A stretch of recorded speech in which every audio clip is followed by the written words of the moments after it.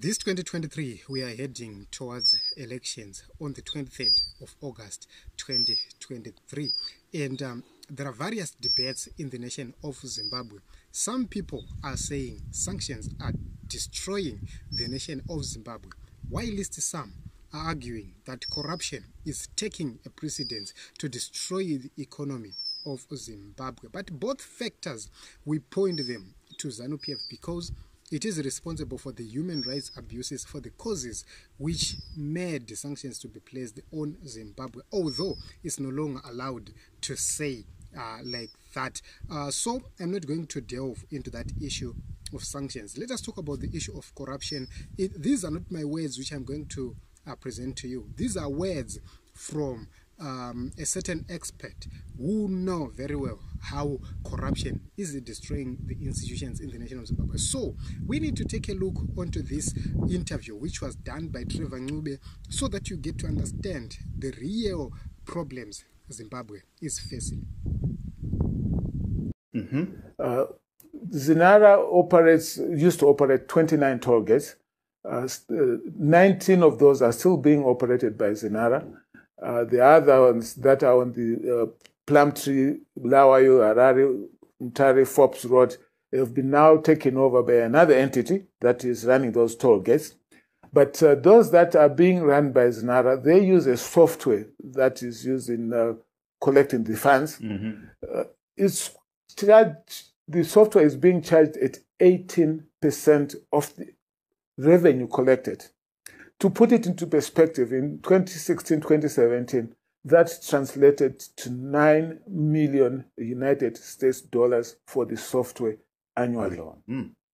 Similarly, the software that is being used for the licensing of vehicles at the various outlets that are operated by Zinara, which licensing used to be done at the district office or the city of Harare or other local authorities, that was taken over and again, there is another 60 million collected from the, the vehicle license fees, or used to be collected then, which again translated to another $9 million US dollars for the software used for the vehicle licensing. Mm. And when you add, and it's all in the reports, when you add the actual collection fees of about 7 million, that entity is collecting or was collecting up to 25 million US dollars for the software. Do we know this entity? Yes. What are, what are they called? They are there in the reports. Okay. Uh, Southern Trading Company. Who owns that uh, Southern Trading Company?